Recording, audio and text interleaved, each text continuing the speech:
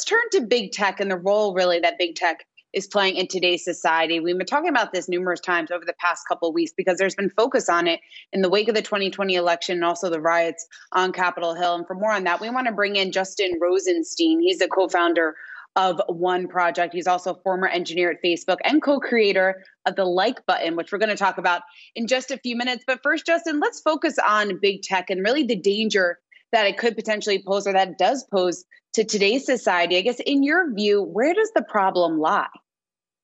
We're seeing from, thank you for having me on, we're seeing huge problems only increasing from whether it's addiction to technology or the rise of polarization, the ways that tech is affecting children's psychology.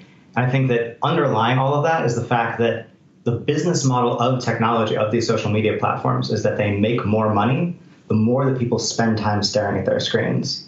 And the truth is that we spend more time staring at our screens when it's polarizing us, when it's outraging us, rather than when it's informing us or educating us. Justin, I saw you in Social Dilemma, so you've got a convert here. I deleted all of my social media apps from my personal phone. Two part question for you. So, wouldn't it be just simple, make uh, some kind of regulation against the algorithms that reinforce the hateful kinds of things that keep us pushing the button, the like button, or the, the give me more of that kind of speech. But also, you know, Mark Zuckerberg, does he really care about this?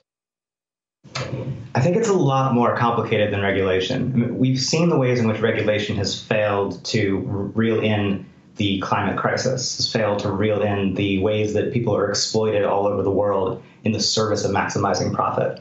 And when it comes to regulating social media, the problem is even deeper and more nuanced and complex.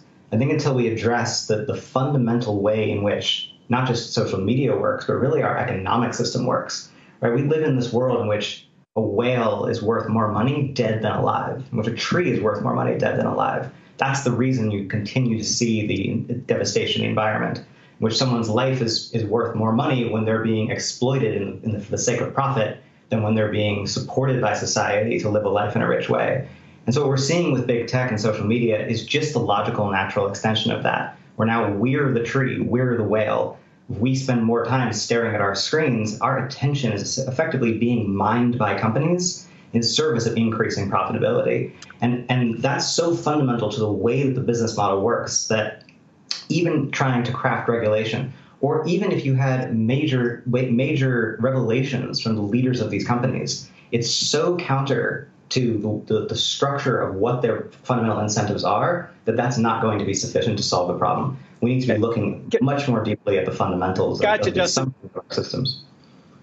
Uh, just curious, does Mark Zuckerberg truly care about this issue? I think that the leaders of big tech, fortunately, by and large, are a caring group of people who are trying to do their best in this world to maximize benefit for the world. And yet, when you're the head of a company who's who has to report to Wall Street, whose basic financial incentives are being defined by how many times you can get someone to click on ads, the capacity for cognitive dissonance is, so high that I don't think in, in, the end it almost matters because ultimately these corporations are, even when they're run by CEOs that seem to have total power, they're ultimately beholden to Wall Street and, and to constantly trying to increase the quarterly returns. Justin, you talked about economic democracy, you laid it out also in your new book. But I think the key question here is how do we achieve it? We know what we need to do, but what are the first couple of steps that we can take in order to kind of, I guess, start the process at least? Yeah, today the new possible comes out, which is a, a book of, of not just about technology, but from 28 global leaders who've come together to try to spell out what could a better world look like. Because 2020 has been such a wake up call and yet there's so many people who are saying, let's go back to normal. How, when, when do we get to go back to 2019? But it's, it's the normal that got us to where we are.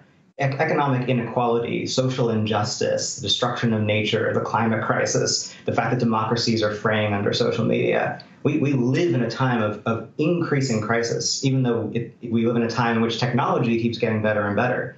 And so a group of leaders from all over the world have come together to try to say, what could a better world look like, a, a radically better world? But this is not just pie in the sky utopian visionaries. This is people who have created or studied real systems that really work in practice. And so it outlines a, a vision for how we can take small steps to get from here to where we need to go. To take big tech as an example, right now there's tons of talk about tech being a democracy. Congress is looking at antitrust regulation, antitrust reform.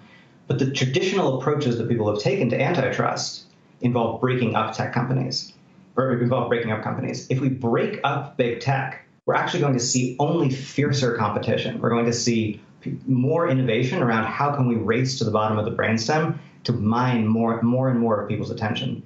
So instead, we need to look at well, what is the future we want to live in? I think the future we want to live in is one in which technology works not for for shareholders, Justin? Not for CEOs, but for the people. Did Twitter do the right thing when it banned Donald Trump, and did uh, Amazon do the right thing when it removed Parler from its servers? Of its servers. This is a perfect example. It, you're, you're going to have some people who think that Twitter acted too late in removing Donald Trump, and you're going to have some people who are upset that Twitter acted that, that Twitter acted at all.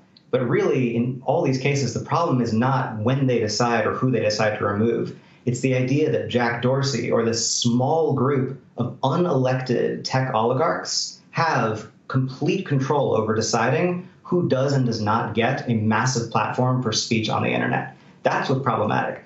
What it means to live in a democracy is that the institutions that govern our lives are governed by us, the people. But instead, we're living increasingly in a world in which these core institutions are governed by shareholders of, of giant of giant tech companies or the CEOs of these of companies when we need to have a radical shift to instead those decisions being made by the people, but in a democrat in a radically democratic way.